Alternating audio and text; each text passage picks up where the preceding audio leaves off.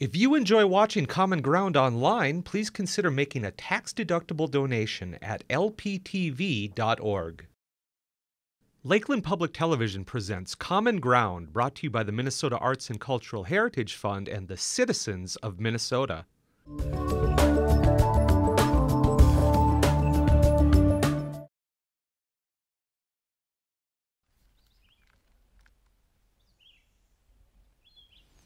I'm Erika Hagberg. I create embroidery paintings using embroidery floss and glass beads.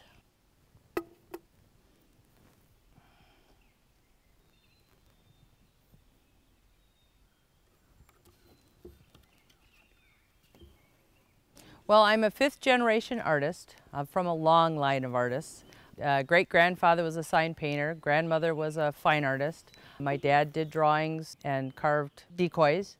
Uh, my mother's a home designer. I and my children have been carrying on after me. So we a lot of times collaborate and work together on some pieces. So I pretty much paint with thread and paint with beads. So I lay everything out in palettes of color that I'm going to use for the project that I'm working on. So all my beads are laid out so I can get the highlights and shadows and depth and color. So every project has a different palette I have to rearrange to start out with. And I do work sometimes with size 11 size beads all the way down to micro 20 beads, which are very tiny, and the needle is no heavier than a hair. It does take an hour per square inch to work on each project. I've been trying to take the women's arts of embroidery and beadwork and try and take it away from craft and move it towards fine art, more like what's in the UK and New Zealand where embroidery and beadwork are more of a fine art. So I've been trying to shy away from landscapes, birds, flowers, which is considered craft, and do more of the human form, which is more considered fine art. So I do portraits, I do individuals, I do nudes. I try and create three dimensions. I have the framework, which are usually recycled picture frames. I have the fabric, which a lot of times are recycled fabrics. And then the embroidery and beads. And then I'll incorporate acrylic paint, fabrics, clothes, ties, glasses, everything that I can find that I can stitch onto the canvas to build a portrait from. I was able to find some old stitch work that were patterns from 1932. And they were simple, and they were cats. but now the artists are really working towards new design, different things, trying to hit the fine art market.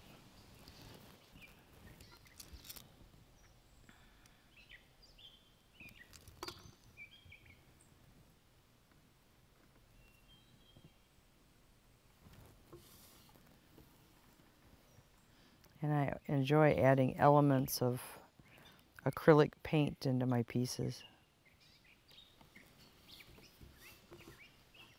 It just gives it a little more dimension and the painterly look.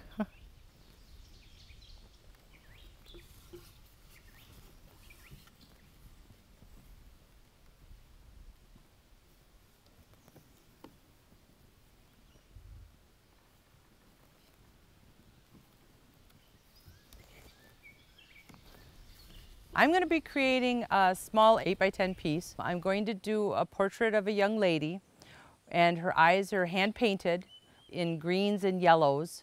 The fabric that I found that is repurposed is in green hues and so she's going to be dark skinned, caramel skinned. I will bead cornrows as her hair. So those will be in blacks and blues and greens also. I'm going to be working with the caramels and chocolates that I haven't gotten to play with yet. So it'll all have this warm, dark feel as I go on.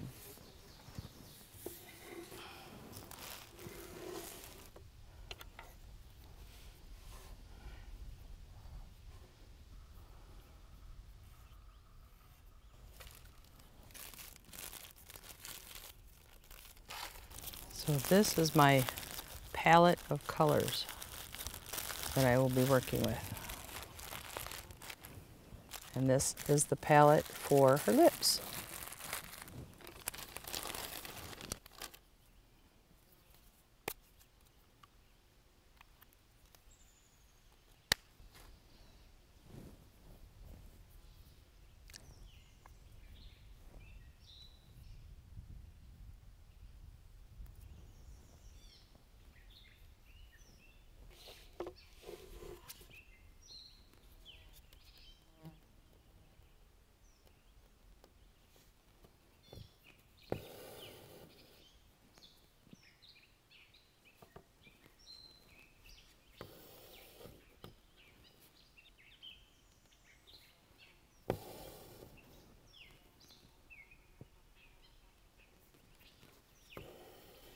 The first of a hundred thousand stitches? yes, and many, many hours.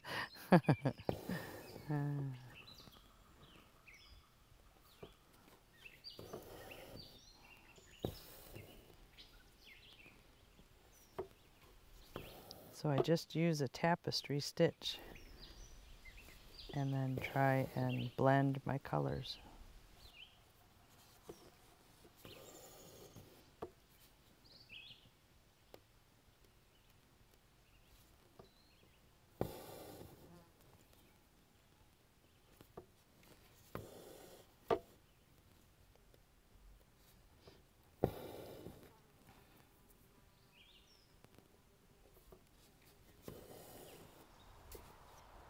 Course, these are the hard ones that are in the corner of the canvas.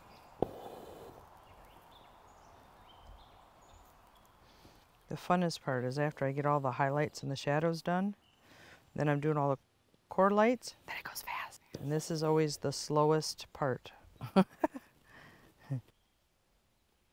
I think it's so cool to watch the thread like Go in and disappear. yeah, go in and disappear.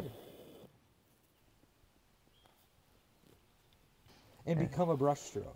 and become a brushstroke yeah. And then when i get done doing the the f- human form that i do i try and give them each a name.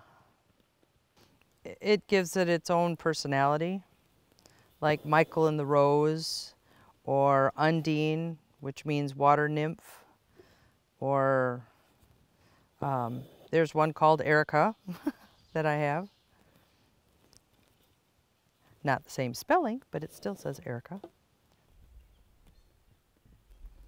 And it's better to do this in daylight than in the evening hours.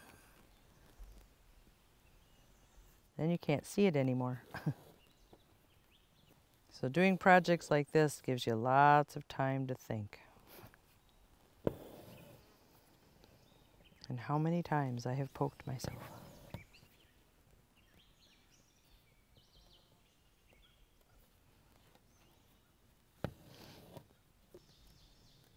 And it's interesting working on the human buttocks and tummy because all of those stitches are in curves.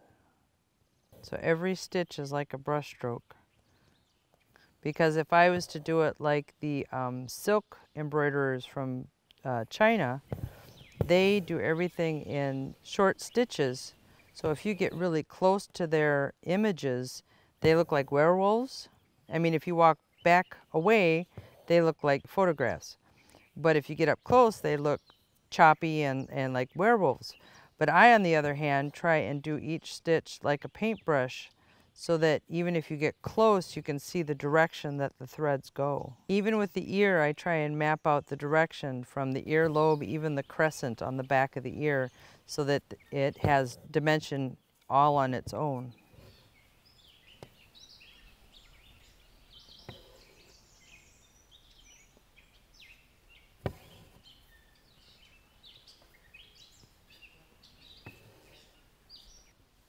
I always find the choppier the better. How so?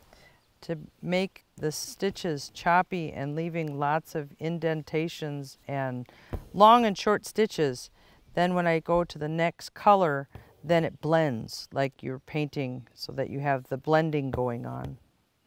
Okay, I'm going to be changing my threads using the highlight thread that I'm going to use. So what I end up doing is taking my pencils, in this case a uh, makeup pencil because it's softer, and I drew out where I'm putting all my highlights on my piece. So I finished all my core shadows, the darkest thread, and now I'm going to go to the lightest thread so then I can fill in all the rest in between.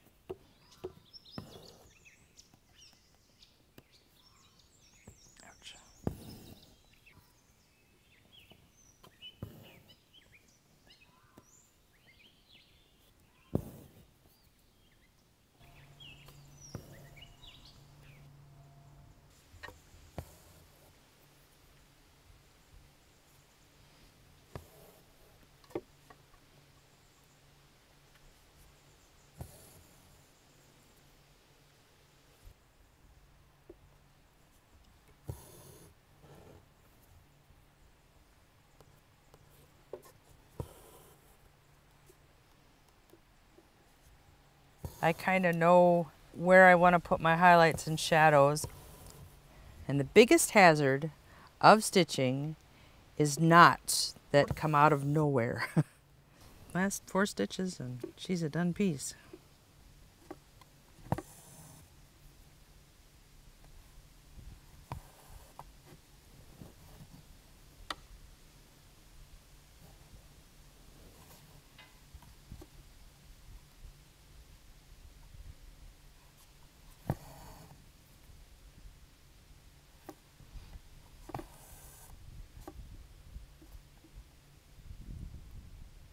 That's it.